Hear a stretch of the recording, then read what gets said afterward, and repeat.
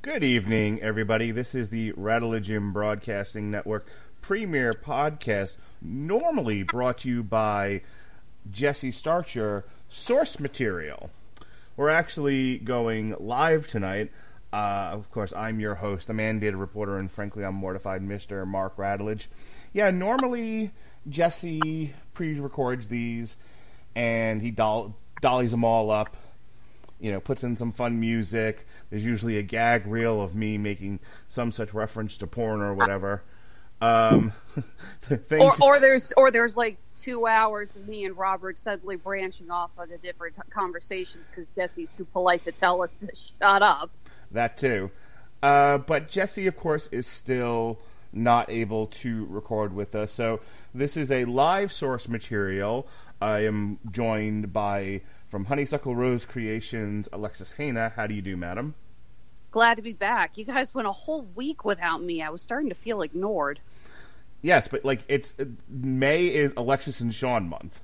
Like you guys are on almost everything, so we're making do up I for have it. To share it with him.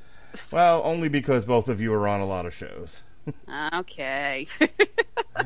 um, I actually I said that to somebody else, and they got a good they they got a pretty good laugh out of that.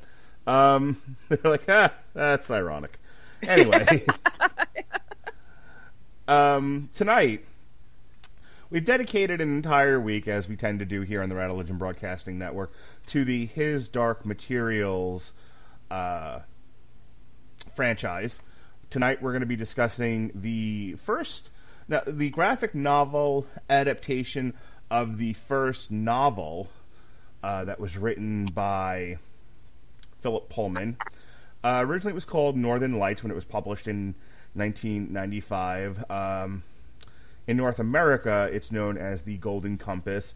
There has been a feature length motion picture uh, that was based on it, and on HBO, under the umbrella title of His Dark Materials, the first season of which is pretty much the entire Northern Lights slash Golden Compass storyline. Uh, so tonight, for your listening pleasure, we will be discussing the graphic novel adaptation of said piece. And I, I wanted to do this because we, you know, we, I just kind of took a shot in the dark with this. Uh, I knew that, and we'll talk more about the show tomorrow and uh, why we're talking about it and everything. But when we had decided, when we had committed to doing his Dark Materials from HBO, I said, you know, I wonder if there's any kind of comic books on this. And lo and behold, there's at least this one. This was actually published in three different graphic novels, and then there was a combined, uh, a combined publication of all three. So that's what we're going to talk about. And let me ask you, Alexis. Again, we'll we'll talk into we'll talk a little bit more about what brought you to this franchise when we discuss the show. But uh, did you know that there was a graphic novel out there until I mentioned it to you? And what did you think uh, when I pitched it as an idea?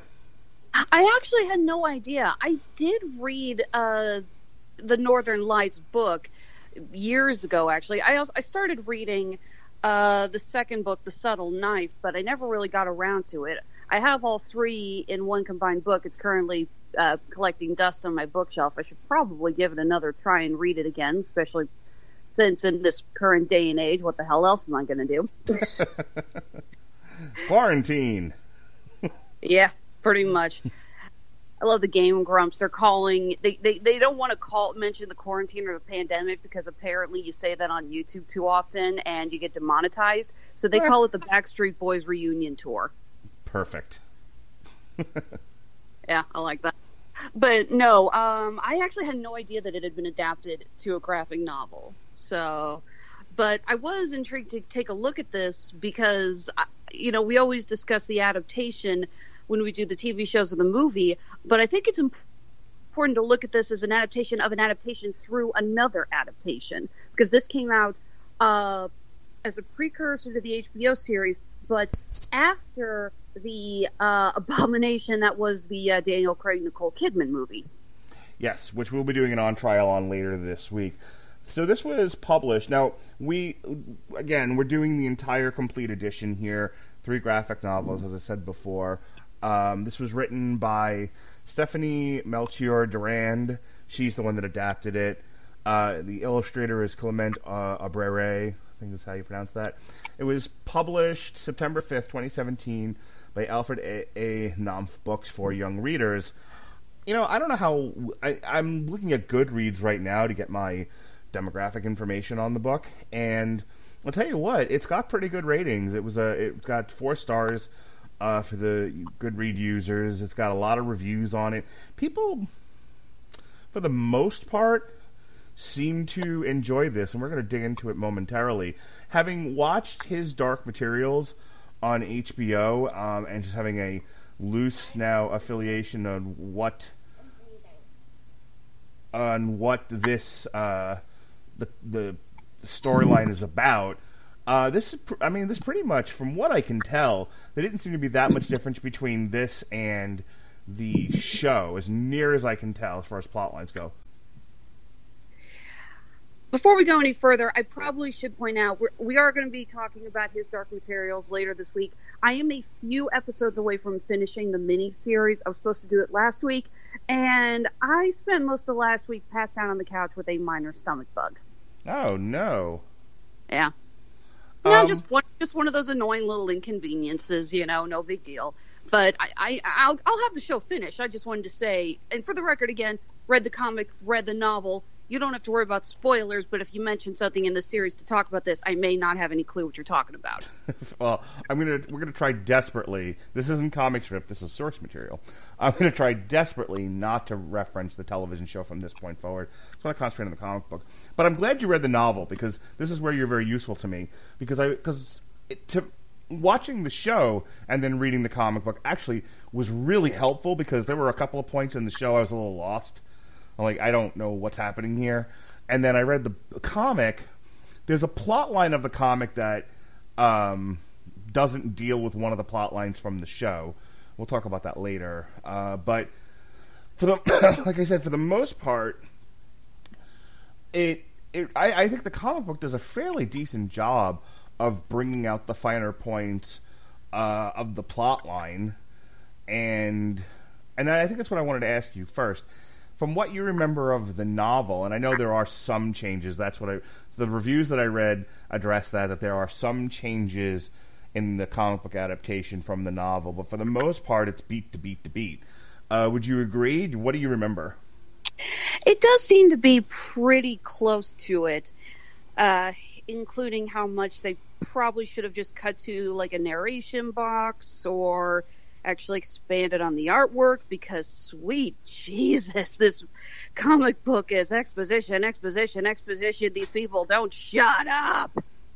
it's a lot of dialogue, not a lot of. You know, I'll tell you, we've done some comics storylines in Marvel and DC from the 70s and 80s, and it they kind of drive me crazy because there's so much. Um, can't remember what the, what the technical term for them is. Non dialogue boxes. The, I mean, like the Kevin Smith Daredevil. Ugh, that might as well have been a novel. I, I wanted to shoot myself by the time it was over. So I kind of like this. You know, I like the stuff that's a little bit more dialogue driven. That that's a personal thing. You see, I want to ask the the positive reviews were these coming from people who had previously read the novel or seen the movie? I, you see, that's the thing is that based on what you know of this uh, of the original source before going into this graphic novel, I think will greatly influence your decision, your final opinion on whether or not this is actually a good graphic novel.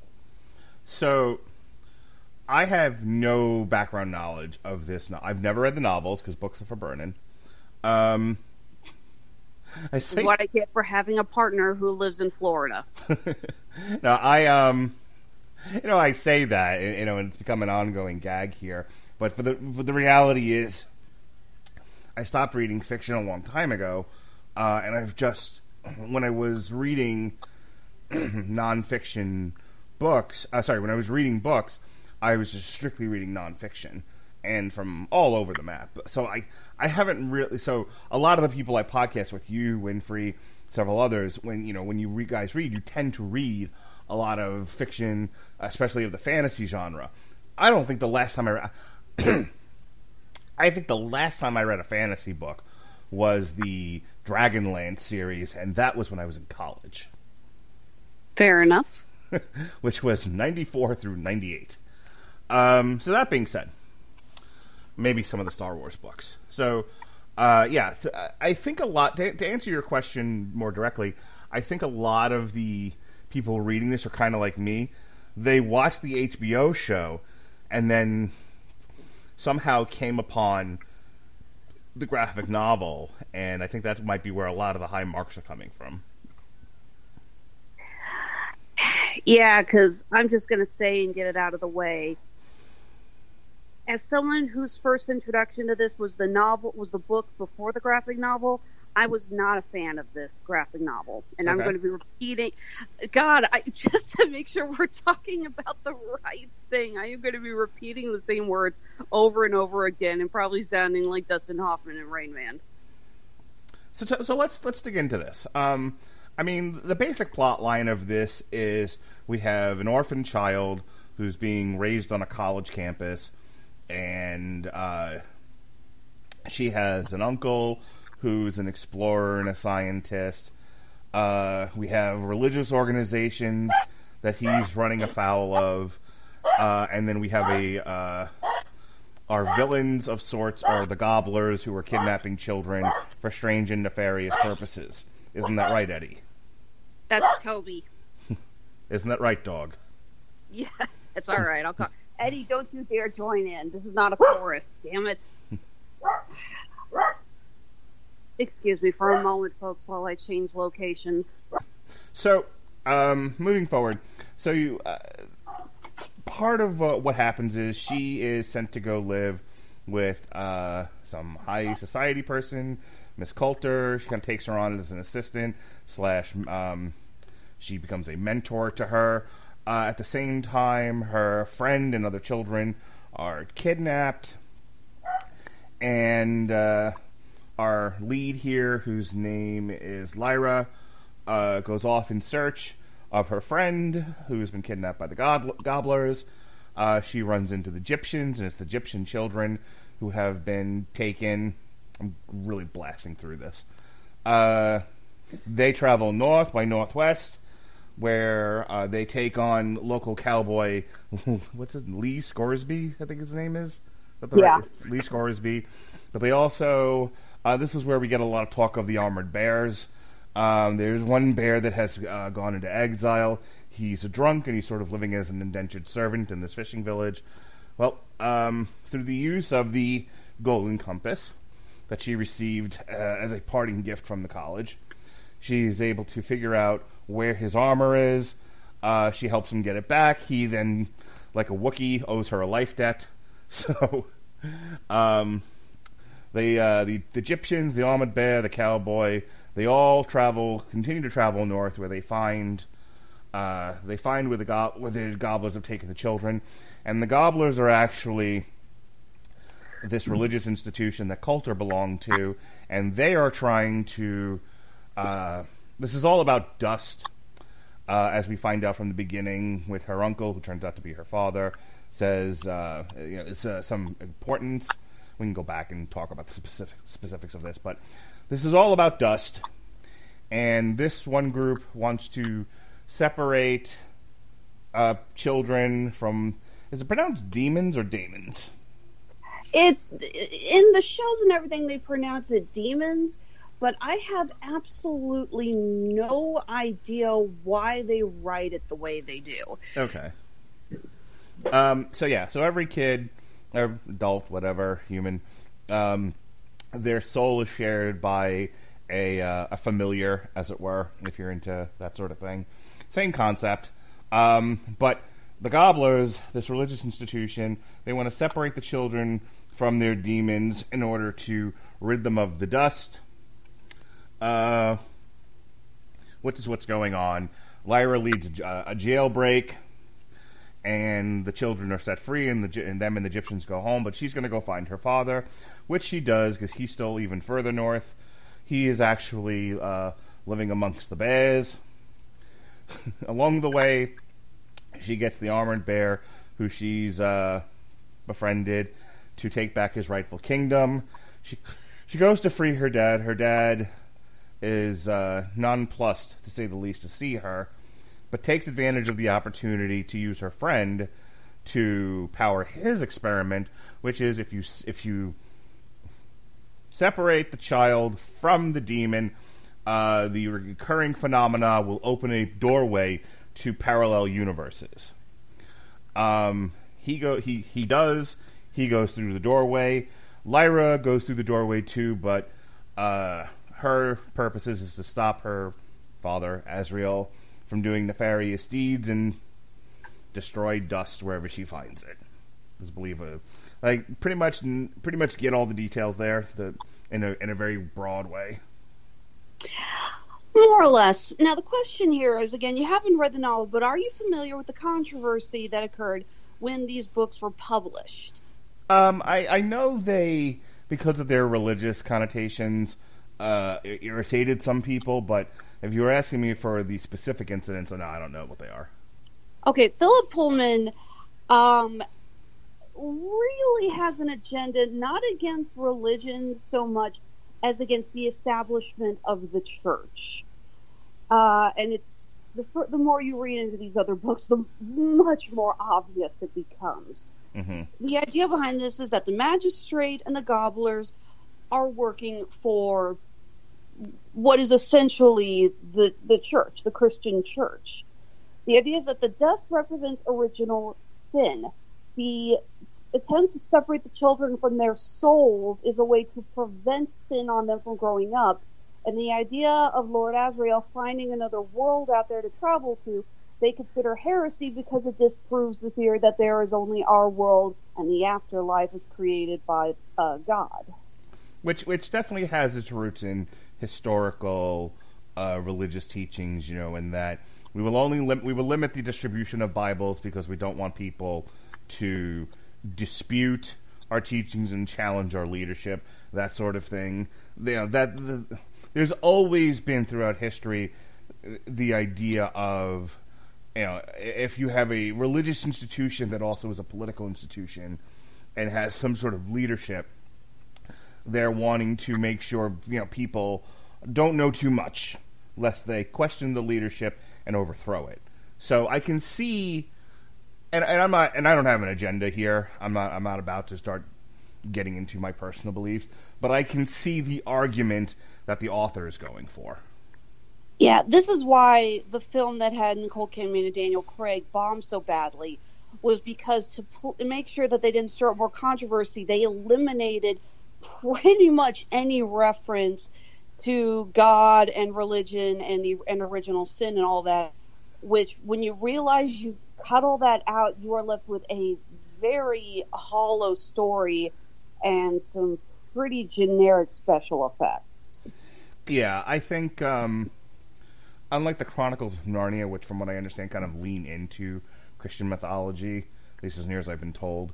Um, I, I, from what I've heard, the reviews of the Golden Compass movie were this is kind of shit fantasy when you remove the religious aspect. Yeah, Chronicles of Narnia is, in my opinion, a good enough book series that if you do remove the, you know, you can read it and not pick up on the Christian mythos that much. Mm-hmm. You know, if you know it's it, if you know about it going in, you read it. Yeah, you see it's pretty obvious. But there's a reason this book is enjoyed by so many younger children. I mean, I had to read the first uh, line. The, I had to read the line "The Witch in the Wardrobe" like God, I don't know how many times when I was a kid for school. It was ridiculous. So, but it's innocent enough that you don't notice it if you're not looking for it. You know, getting uh, back to the Golden Compass, in terms of this being a YA, um, and let's just talk about the graphic novel. Um, in terms of it being like a YA graphic novel, you know, something that I can hand to my daughter, I I, in the sense that you have this whole thing sort of rests on the shoulders of Lyra, and if you can sort of project yourself onto her as a reader, I can see the attraction. But outside of that, I'm not sure what there is for, you know, a junior high kid, I guess, to really be that interested. Like, there's some heady some fairly heady stuff here. Like when I was watching the show, I was like, I this can't be for anybody less than you know an adult. First of all, there's not that much action in it. Um, and other than the kid's pretty precocious, you know, and she kind of you know gives it to the adults here and there. Um, I don't know what the appeal uh, to to a child is for this book. Not 100% certain either. I also felt the graphic novel really glossed over a lot of the elements of it. The book actually does do a little bit more setup in the earlier parts about what the demons are. Essentially, they are in this world, a human's soul manifests outside their body as an animal. Mm-hmm. And when they become adult, when they reach adulthood, the these animals will constantly change shape. When they reach adulthood, the animal um, picks a form and stays. So it kind of actually calls back, I think, a little bit to uh, like a Native American imagery of totems. Mm-hmm. You know, and I'm sure there have been many other religions around the world that have uh, had that exact same concept. That's just the first one that comes to my head. Makes sense. Yeah, and like so, the book actually does give a little bit more backstory on this. You open up the graphic novel and you're like, oh, look, there's our main character, and she's got what looks like a weasel. Oh no, it's a butterfly. Oh no, it's a bird. Oh no, it's a what the hell is that? right. Because Lyra's uh, demon Pan does frequently change uh, his form throughout the book. Uh, the it's not a weasel. There's a specific name for it It because with an E and I suck at zoology apparently because I can't think of exactly what it's called. Yeah, Hang on. Hang like, on. Look like, a ferret. look like a ferret to me. Yeah, but it's something else specifically. Let's see here.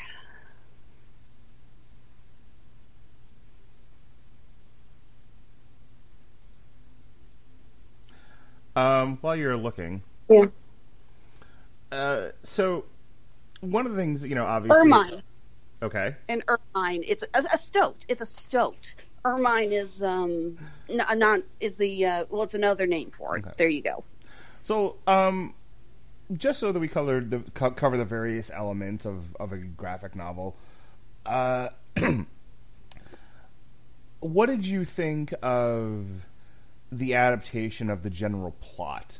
Uh, I mean, uh, you obviously to one degree or another liked the novel. So, um, so you so you're rereading it here, but it's in comic form. So it, you know, it's, it's, kind of silly, like like well, I liked the book, but I hated the graphic novel. You know, there it's kind of one and the same. Um, but what did? But I do want to get your opinion on it. What did you think of the way they adapted the plot? It was boring. okay. I'm sorry. Can I have a moment to get on my soapbox about this? By all means. Okay. Every graphic novel we review on this show, you can feel a passion, an ideal, an idea behind it of why it was made.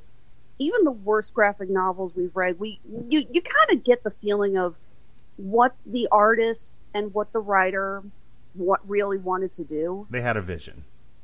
Yeah even if that vision was stupid, even if the jokes were really bad, it's like, well, yeah, they probably thought this was funny at one point or another. This graphic novel, it feels like homework.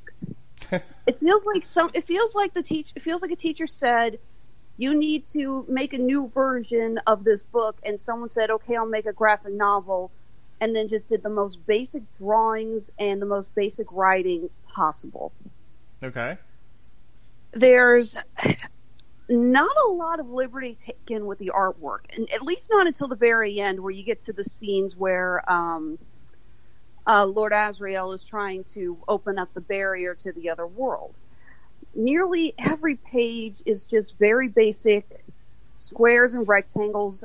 There's not a lot. You don't see a lot of really great artwork. There's no. I mean, I'm not calling for like a million splash pages or anything. Obviously, that can get supremely overdone. But there's no effort in this. Everything is very by the book, basic. Okay, we'll do this, we'll do this, do this. I was hoping for a couple of pages where it was just okay.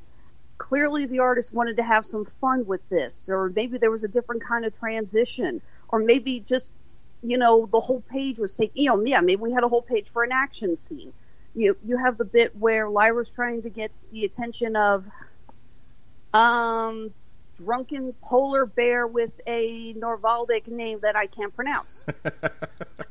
and he turns around and roars at her, and I'm thinking, how much better would it have been if they'd ended? It's like, well, I don't think he notices me, and then you turn the page, and there's a whole page of him roaring in her face. How Iorek great that? Burnin, Iorek Byrnison. Yeah, Iorek him. And I just, I was just wanting so much more out of this book. You know, a graphic novel, you really get to have fun with the interpretations of how the story should look, and you get to really play with the artwork and have a lot of fun with it. And these guys did not want to put in the effort for that. Hell, I even felt like they didn't put a lot of effort in for the pacing. A lot of graphic novels, they actually do work hard so that the end, the bottom of the page makes you want to turn the page to see. They they do time the panels they didn't time the panels on this. I, am probably, you know, masquering the actual language of a real comic artist, but I think you know what I'm talking about. No, I'm with you. Here, here's where I agree with you. Um, I didn't hate it. Number one, like I said, I, I felt like it filled in some of the gaps that I wasn't getting from the TV series, um, and I certainly had, don't have the novel to compare it to. The art, here's where I agree with you. The artwork is kind of plain. Um, you know, fantasy is attractive for I think for most people because it really does take you to another place. And I don't know if it's the fault of the series itself that it's in an alternate London, and it it doesn't the comic. Uh, sticking with the graphic novel for just a second, I don't get a get a real sense of where this is. Um, a lot of the panels are sort of close ups of Lyra, Lyra interacting with somebody um, when she encounters Iorek, um, you don't really get a sen- sense of the village that he's in or his turmoil. You're, you're, you're absolutely right in the fact that there's a lot of this that you know. Even though it took me a bit to get through it this morning, I think it took me around an hour or two to uh, to re- to read the whole thing, and that includes the moments where my daughter had to stop me and have her help have me help her with her schoolwork. Um, but it did feel like there were opportunities to flesh some things out. You get no concept of who Scoresby is, which is funny because I because I because again I don't want to talk about the TV show, but they spent you spend a lot of time with that character on the show, and you and and I do feel like they spent almost an entire episode dealing with the polar bear, and you don't really get that in the comic. It seems to just sort of, you know, it hits the high points and then it keeps going. So you don't really get a sense of what, how the bear fell from grace, um, or the, the kind of tortured life he's living in this village. You have no sense of who the cowboy is. You don't really. You get a sense of who Asriel is, but not until the end of the story, where he's an absolute bag of dicks. To, yeah. To Lyra. Um, the show, I think, did a better job of giving Coulter a degree of menace uh, that you don't really get in the graphic novel. Um, like in the show, you can see why Lyra took off.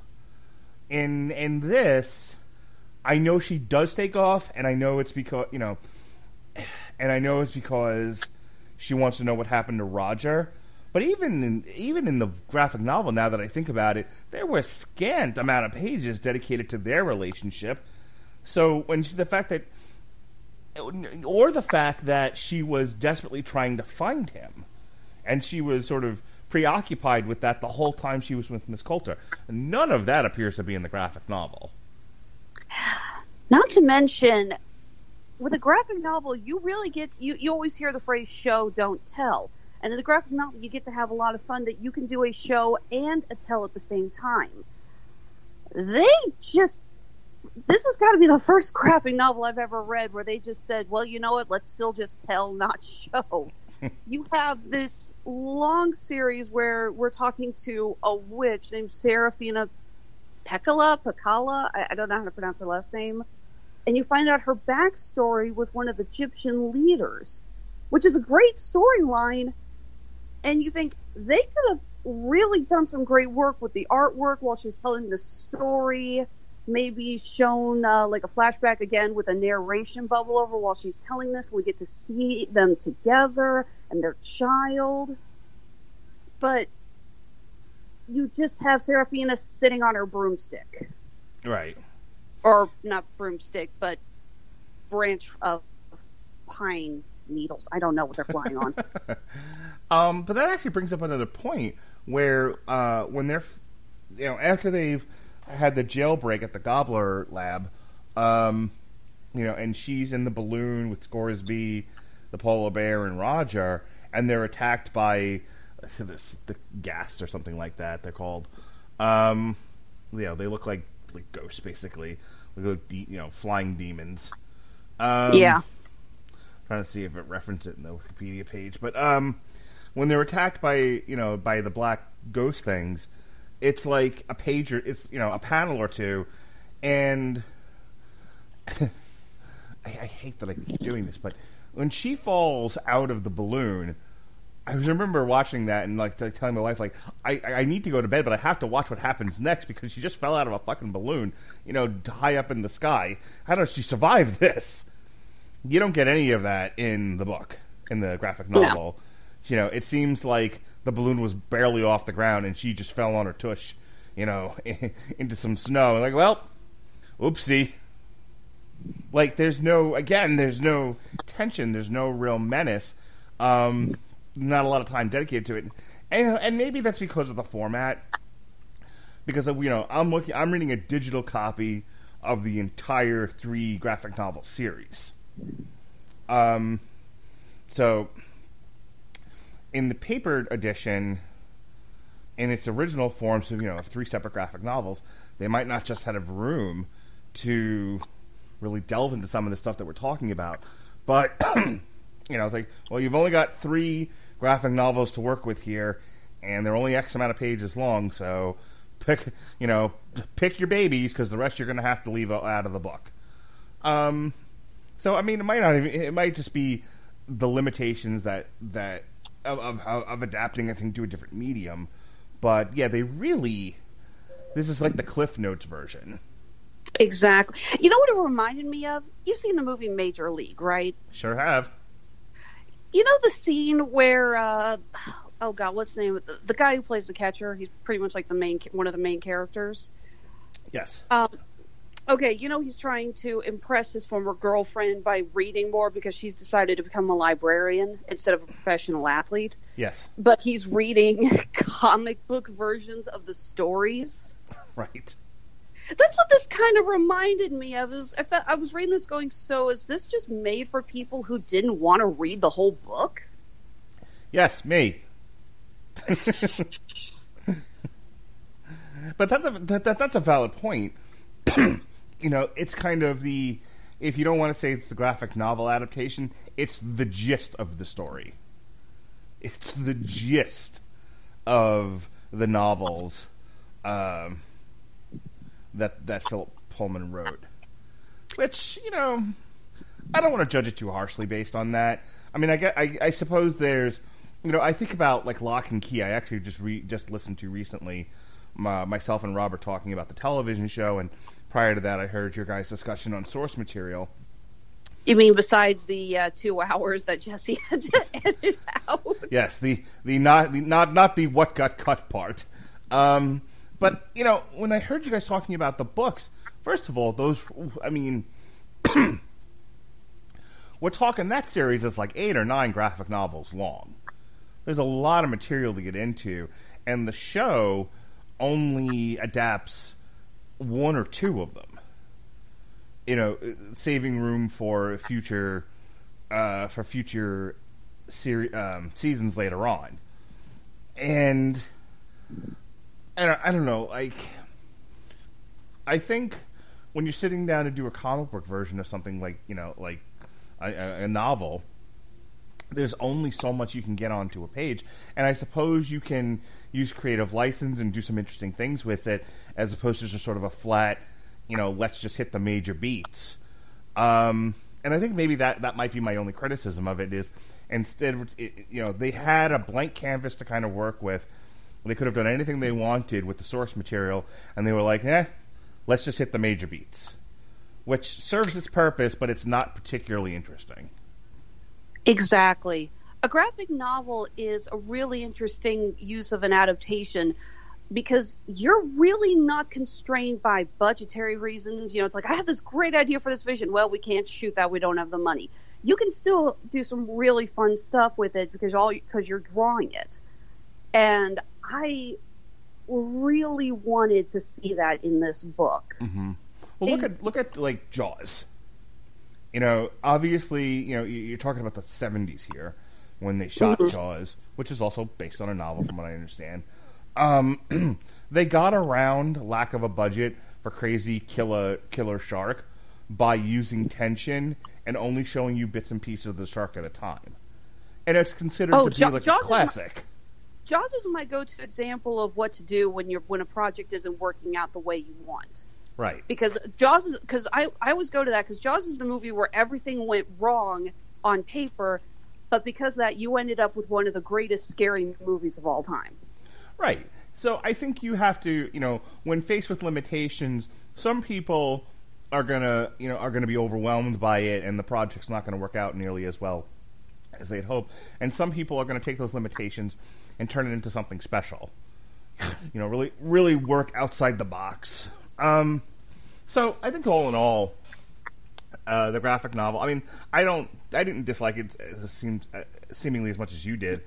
Um, but little... again, I read the novel. You're going off of the of the TV series, right. so we have very different, you know, approaches to when we pick this book up, and that's one of the things I was really hoping to explore on tonight's show, because we read the same book, but we are coming from completely different backstories here, backgrounds here. What? So that does bring up the question: How do you think they could have improved upon this? What could have been done differently to really make this a special read and not just the Cliff Notes version of the book? Again, I would have loved to have seen them play around with the artwork and really build it up. For example, mm-hmm. you got page where Lyra meets Mrs. Coulter, who is, you know, the be all end all villain of the book. You know, not counting, you know, the church. Okay. It's a single panel where she bows to her. I would have done a whole page of her walking up to Lyra and just showing her in her dress, just standing there to show how important she is. Again, maybe a whole page to Iorek roaring at Lyra. We could have done so much more with the artwork to build up the suspension, to point to the importance of character, to you know get a better understanding of the emotional weight that Lyra and all these other characters are going through. Does Lyra come across like an asshole in this to you? Yeah, but she kind of does in the book too. So okay. Um, she didn't feel nearly like as much like an asshole, um, in the show. Though you know there were times I, I she got kind of cringy. Um, but yeah, that was one of my other takeaways while reading this was like, huh, she, you know, a lot of like the almost the entire uh, book is you're with her, and there's a lot of it, especially in the beginning when she's, you know, whining to Asriel about you know take Ricky take me to the show, and he's like, no, go, go hide in the vents. Um, that and that that's another thing. They don't spend a tremendous amount of time fleshing out who the villains are and why they have such an issue with Asriel at all or why this is important to cleave the demons from the children. They just sort of it's it's maybe touched upon and then they just speed right through it. Yeah, even the device that's designed to split the child from their demon, it barely gets any, you know, acknowledgement in the artwork. Right. This is a terrifying device that is for, you know, to put it in the most basic of, cir- of circumstances, designed to cut out your soul. right. Yeah. It really needed some more attention on it. You know, this is a device that I would have done, again, at least a half page just Right. of Lyra looking at it and the fear of, oh my god, that thing is going to cut out my soul. Is it just me, or did they also skip the scene where Lyra ends up in the machine? No, the scene's in there. They just rush through it. Okay, well, yeah. Okay. Clearly, it had absolutely no impact on me. Yeah, sorry. There is some talent in the artwork here, but it, again, this feels like it was done in a complete rush job. Mhm. And I am very disappointed in it because of that. Okay. Um, I think we've kind of covered it. Is there anything else you wanted to? I'm going to kind of kick it over to you. Is there anything else you want to discuss? Anything uh, you have on your agenda as far as this book goes? Yeah, skip the graphic novel, read the actual novel. Okay. Seriously, you know the book. I mean, again, if you're just if you don't want to actually read the novel, I know there's some. I'm just going to say this. I know there are some who have trouble getting through a whole actual novel, a whole book, and I get that. And if you're someone like that, and you prefer to read the graphic novel because it's easier for you, no judgment. But if you want to get a better understanding of it and really feel everything that Lyra and the characters are going through, I'd recommend just getting the real book. Okay. Uh, with that said, I think we're going to conclude our discussion. I think we've said all that needs to be said about this, since there isn't, you know, that much to it. Uh, so, with that said, hey, what's going on in your world these days, huh? Seriously. What are you working on? What are you? What? Uh, tell them what you're selling. What's going on in my world is because all the craft stores are closed, I have to actually order online just to get earring hooks and small bags to hold all my pieces when I could just run around the corner to the shop and just run in and grab them real quick. Uh, I understand social distancing and closing the shops, and I am grateful that store owners are taking that seriously. But you have to admit, it is a pain when you go, I could have just run in and gotten this in five minutes. Now I have to order it online.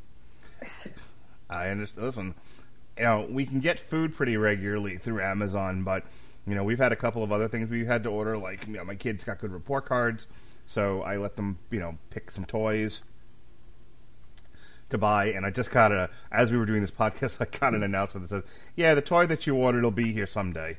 I ordered a mask. I ordered a mask from work for work. Uh, it's you know just a regular medical mask, but it has the the Bane face on it. You know the, uh, the from The Dark Knight Rises, Nice. oh, I was gonna say, wait, which Bane mask?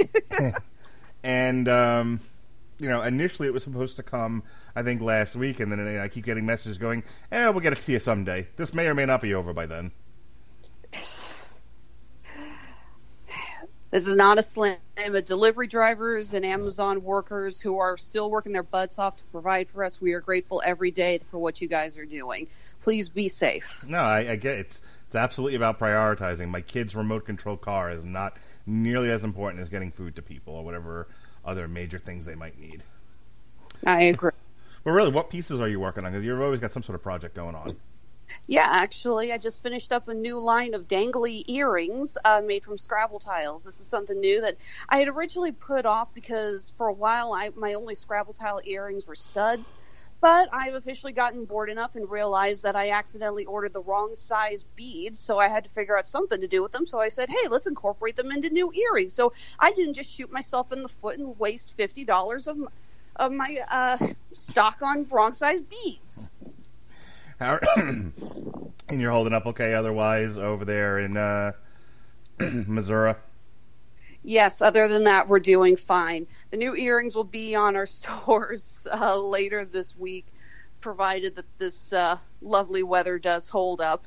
It's spring in the Midwest, so we're usually like, okay, flip a coin. It's going to either be rainy, sunny, or grab the dogs and run to the basement. So, uh, Actually, I just realized I am overdue for you for have for a tornado drill because it, it was around this time last year when we reviewed the Aladdin uh, reboot that I had to say, okay, guys, I'm gonna we're gonna be delayed because I'm in the basement with Eddie and Toby. Um, so yes, uh, this is part one of our two-part Alexis Hejna shows this week. Tomorrow we'll be doing a TV party for his dark Mate- his dark material season one. They have been greenlit.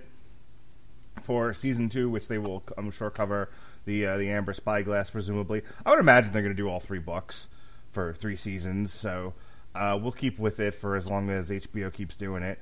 And I then, think the subtle knife was the second one. Amber Spyglass, I think, was uh, yeah. will be the third season. Yeah, I had it backwards. Um, yeah. And then later this week, Sean Comer and I will do an on trial for the uh, Nicole Kidman Golden Compass. Uh, next week, next thir- uh, a week from Thursday, the seventh of May, myself and Alexis Hejna will do comic stripped, and uh, I twisted her arm. this was this was totally a snow job on my part, an absolute lobbying uh, effort uh, we're going to do comic stripped. I am not okay with this. We're going to talk about the book, and we're going to talk about the Netflix series. Won't that be a guess? I still need to order the book. well, I'm glad I reminded you. Um, then you get a break. Uh, no Alexis Hejna the following week, but the week after, you get uh, a double dose of her again. We'll do TV party for she- the final season of She-Ra on May 18th. She-Ra season five and then, if you've been missing the Damn You Hollywood gang, well, we're going to get together for another VOD animated release. This time, and this time is where I got my arm twisted, uh, we'll be doing Scoob. So it'll be myself, Robert Winfree, Alexis Hejna, and we may or may not have a return of the prodigal. That's P R O D, not P R O T. Son. We're never going to let you forget that. Nope. I'm not even gonna let myself forget it because I know better than that. Um, so, uh, well, so uh, Jason Teasley, who's actually the one that pitched this idea, will be doing a Damn You Hollywood for the VOD release of the animated feature Scoob. And don't you want to hear Mark Wahlberg do the voice of the Blue Falcon? Sure. Um, and then finally, closing out May, uh, we'll do another live source material uh, with Alexis Hejna. We're going to do book nine of the Don Rosa Uncle Scrooge series. I believe it, it is. Uh, it's the Three Caballeros Ride Again. it's either Uncle Scrooge or Donald Duck, one of the two. Hmm, probably Donald Duck. Uh, according to the hardcover that I got here, it says Uncle Scrooge and Donald Duck, The Three Caballeros Ride Again, the Don Rosa Library, Volume 9. Yes, we're going to do the entire ninth volume of that. Of See, it was both. Uncle Scrooge and Donald Duck. The Three Caballeros Ride Again, which is one of the stories in Volume 9. And then that Thursday, we're going to dip into Disney Plus, and we're going to do a series that was actually uh, broadcast in South America, is now there for our watching pleasure. The Legend of the Three Caballeros. For a TV party. Yeah, well, we were. Yeah, well, the Woody Woodpecker live action movie got a wide release there first, so this was our way of saying sorry. And uh, so, yes, if you if you're missing Alexis Hejna and you truly appreciate her the way I do, you're going to get a whole lot of her, a whole lot of Alexis Hejna this May. How about that? Well, again, I need something to do. All right. Uh, so, with that said, thank you for joining us here on this live edition of Source Material for the aforementioned Alexis Hejna. Be well, be safe, and behave. Wash your hands.